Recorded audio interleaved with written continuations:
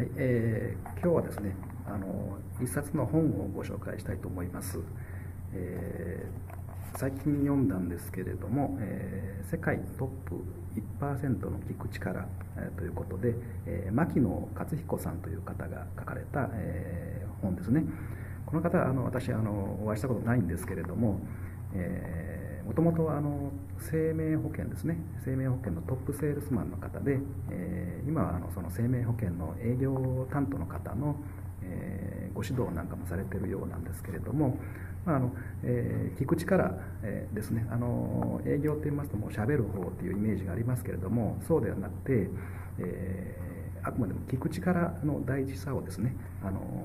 非常にあの細かくですねあの書かれています。それで、えー、いろいろあの私参考になったことがあったんですけれども特にですねあの相手の気持ちになるなんていうのは無理だということが書いてありましてで相手の気持ちになって考えるとかですね相手の立場になって行動するなんてことはよく言われるけれども結局まあ相手の気持ちというのは聞かなければ分かりませんと、まあ、言われてみれば当たり前のことなんですけれどもね、えー、と本当にあの大事なことだなというふうに思うんです。で、えー、私どもで今あのご支援してます社会保険料節減ですね、えー、中小企業の役員様の、えー、社会保険料節減なんですけれども、えー、これですねあの、まあえー、60歳以上の役員さんが会社にお一人でもいらっしゃればですね毎年あのそういうシニア役員さんのえー、社会保険料が節減できる分とそれから支給停止になっている老齢厚生年金がですね受けられるようになるんですね。でそういう効果で、えー、毎年あの役員様お一人当たり300万円以上のですね会社としての経費の削減ができるようなあのご提案をさせていただいてます。あの役員報酬最適化っていうんですけれどもね。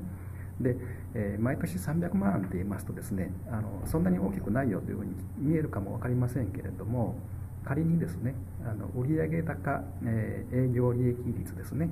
これが5%の企業さんの場合で考えてみると、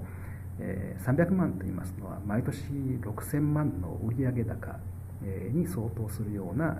利益ということになりますよね。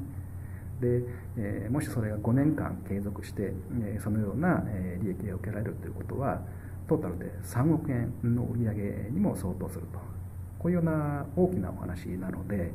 えー、まあ、この情報はですね、ま中小企業の経営者の方であれば、えー、どなたにですね持っていってもあすぐあの受け入れていただけるのかなと、ま、勝手に私どもはこういうふうに思っておりましたんですけれども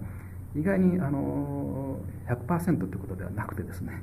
あの実はあの中にはですねそうそのちょっとその話はいいけれどもちょっと先にですね実はこういうことで悩んでるんだということで本当にですね目先のもうあの、えー、役所からですね行政から調査で呼ばれてるとかですねあるいは、えー、就業規則を直せと言われたとかですね、うん、あるいは、えーまあ、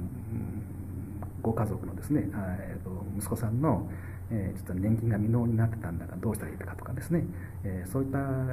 の本当にあの緊急のですね まあ、言ってみれば緊急のご相談の方を先に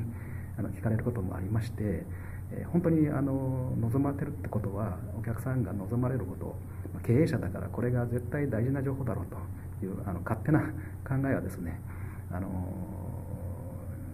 重々慎まなきゃいけないなと。よくお話を聞いてみなきゃいけないなと。わからないなと。いうことをあの実感いたしました。